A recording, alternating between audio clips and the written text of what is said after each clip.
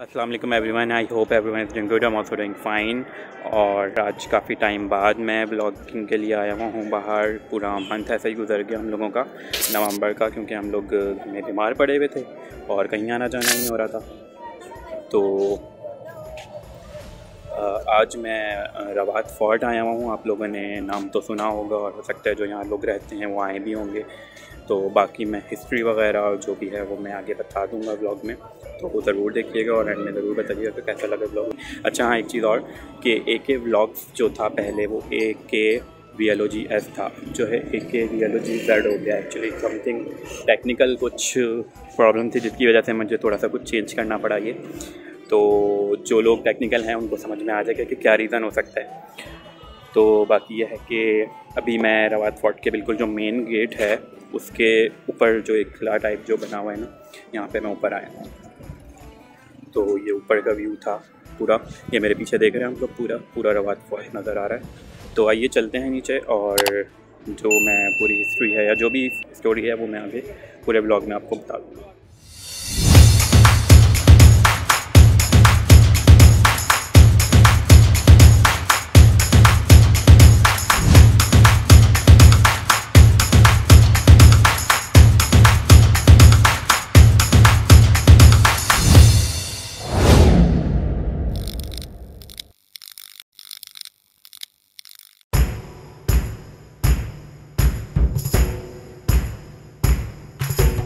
पाकिस्तान के शहर रावलपिंडी से 17 किलोमीटर दूर जीटी रोड पर किला अपनी शान शौकत के साथ वाक़ है। फ़ौजी नुक़ नज़र से जनूबी इलाके की हिफाजत की गर्ज से किला रवात नहायत अहम जगह पर है। यह किला गखड़ों के सुल्तान सारंग खान ने फ़ौजी और इंतज़ामी सहूलतों के पेश नज़र सन पंद्रह सौ बत्तीस ईस्वी में अपनी ज़ाती निगरानी में तामीर करवाया था।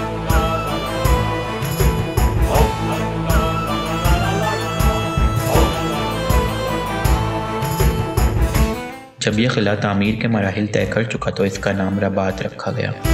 रबात अरबी ज़बान का लफ्ज़ है, जिसके लगवी माने कारवान सराय के हैं। बाद अजा यह अरबी लफ्ज़ रबात से बिगड़कर रबात की शक्ल अख्तियार कर गया।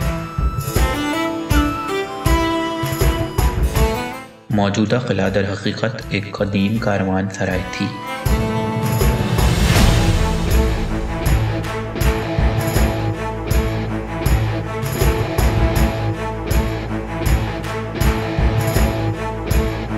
गखड़ों का दारकूमत भरवाला में था, जो बड़ी शाहराह या जर्नीली सड़क जिसे मौजूदा दौर में जीटी रोड कहा जाता है, से काफ़ी फासले पर था। इसलिए सुल्तान सारंग खान ने यहाँ एक सराय की ज़रूरत महसूस की और जर्नीली सड़क के साथ मुसाफिरों की सहूलत या सरकारी एहलकारों के ठहरने के लिए इस सराय की तमीर करवाई।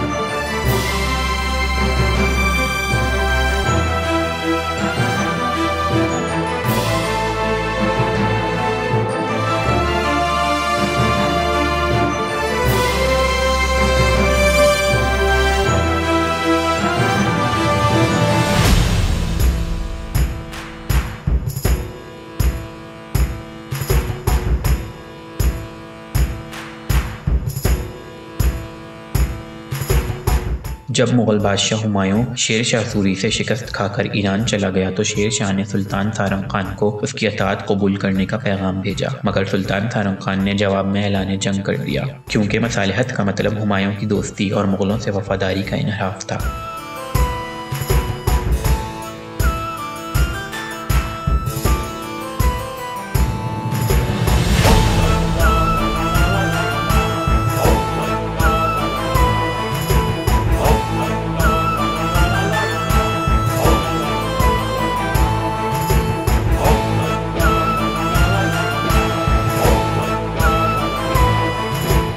गखड़ कबीला मुग़लों और सल्तनत दहली का वफादार था। चुनाचे सुल्तान सारंग खान ने शेर शाह सूरी को बावर करवाया कि तुम मुहाजिब हो। इस पर शेर शाह ने गखड़ों की सरकोबी के लिए खला रोहतास बनवाया मगर वो अपनी हयात में गखड़ों को जेर नहीं कर सका।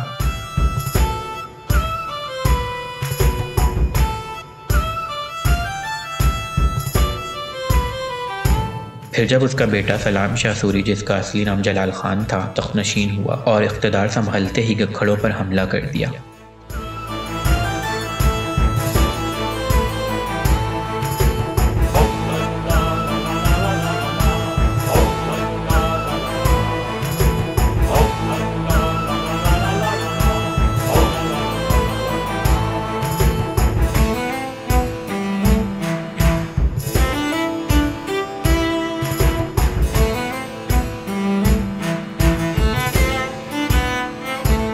सुल्तान सारम खान अपनी सफ़ाह लेकर मांग्याला के मकाम पर सफ रहा हुआ। घमसान का रन पड़ा, कक्कड़ों की फौज बड़ी बाजिगरी से लड़ी, मगर कामयाब न हो सकी। सुल्तान सारम खान शदीद जख्मी होकर शहीद हो गया और उसके सोलह जानसार बेटों ने भी जाम शहादत नोश किया और किला रवात में ही मतफून हो गए।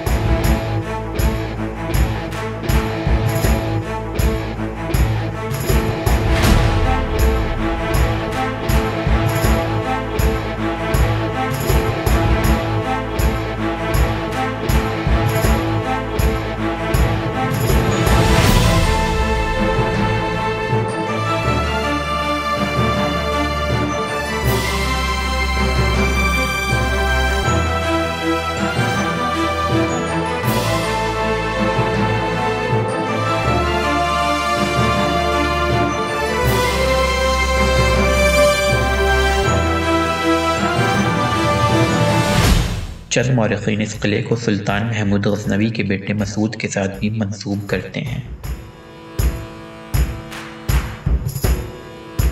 किला रवात का फ़न तामीर इस बात की अक्सी करता है कि यह किला नुमा सराय पंद्रहवीं सदी की शुरुआत में सलातीन दहली के ज़माने में तामीर हुई।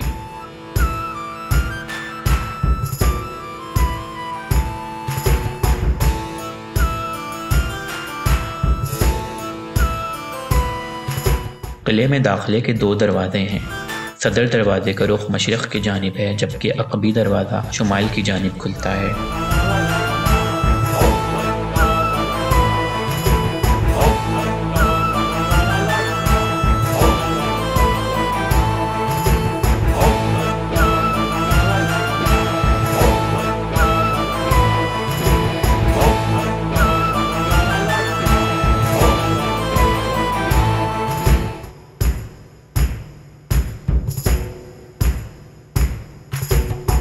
फसील के अंदर चारों इतराफ हुजरे यानी कमरे बने हुए हैं।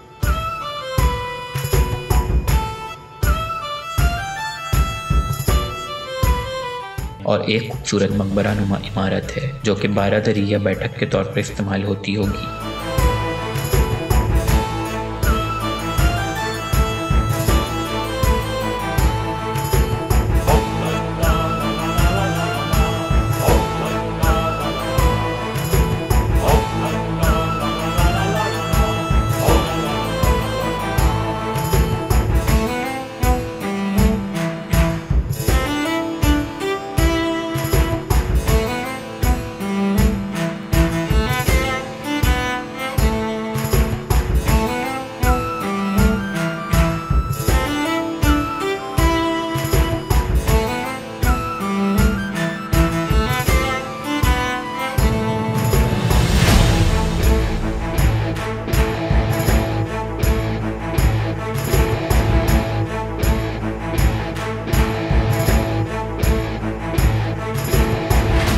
इसके अलावा किले में तीन गुंबद वाली एक खूबसूरत मस्जिद और चंद कमरे हैं।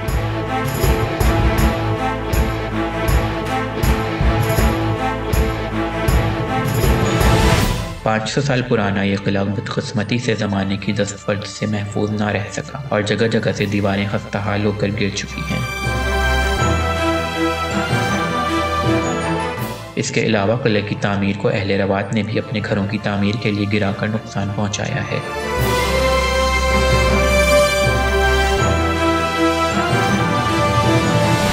अब हुकूमत ने इसके इर्द गिर्द दीवारों के साथ तमीरत पर पाबंदी लगा दी है और किले के दोनों इतराफ में खूबसूरत बागीचे बना दिए हैं। तहम फिर भी किले का बेशतर हिस्सा टूट फूट का शिकार है।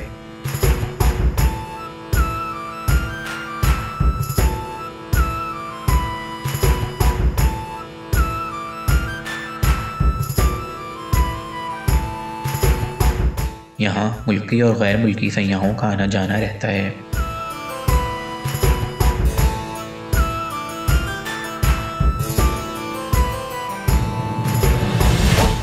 तारीखी मकाम पर हुकूमत को तवज्जो देने की ज़रूरत है, ताकि इसको सयाहत के लिए एक हौसला अफजा मकाम बनाया जा सके और आने वाली नस्लों में यह तारीखी वर्षा मुंतकिल हो सके।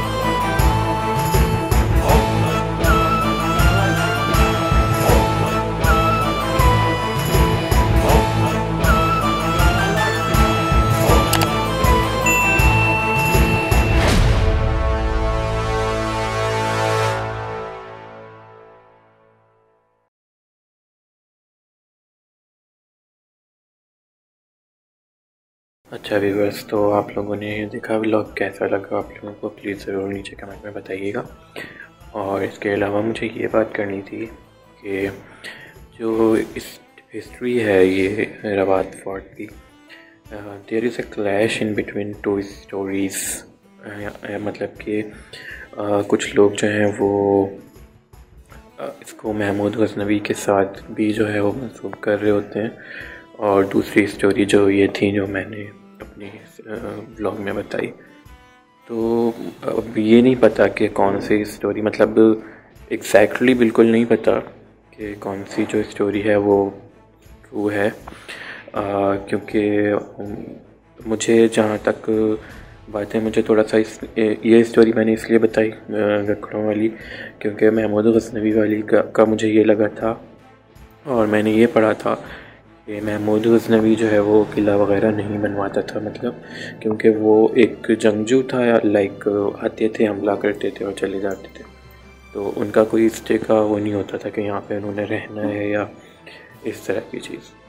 तो जो यहाँ के जो कबाइल होते थे, जो रहने वाले लोग होते थे, वही किले और सराय और इस तरह की चीज़ें बनवाया करते थे। तो मुझे इस सेंस को लेके मुझे ये स्टोरी जो ये हिस्ट्री थी, ये मुझे सही लगी, इसलिए मैंने ये शेयर की। बाकी कहीं पे जो है वो महमूद गजनवी से लेके मतलब उसकी कोई इतनी ज़्यादा वो नहीं है, बस सिर्फ़ ये इतना सा है कि महमूद गजनवी ने जो है बनवाया था। बाकी मैंने सुना है कि इसका ज़िक्र अकबर नामा एक बुक है, जो शनशाह अकबर, बाबर जो भी थे, उन लोगों की बुक में है। ज़िक्र है थोड़ा सा, क्योंकि रवात फाट इतना बड़ा ही नहीं है, बहुत छोटा सा ही है। तो जो भी इसकी हिस्ट्री है, वो बहुत थोड़ी सी बहुत मामूली सा इसका ज़िक्र इन लोगों ने किया है कहीं। अब I don't know from where to get Akbarnama but मैंने जो है थोड़ी बहुत गूगल से और विकीपीडिया से और कुछ ब्लॉग्स और कुछ वीडियोस से रिसर्च करके और फिर ये स्टोरी मैंने लिख दी। मतलब शेयर कर दिया आप लोगों के साथ। तो if you know any other story anything else so you can share like here in comments down below. Thank you so much. Allah hafiz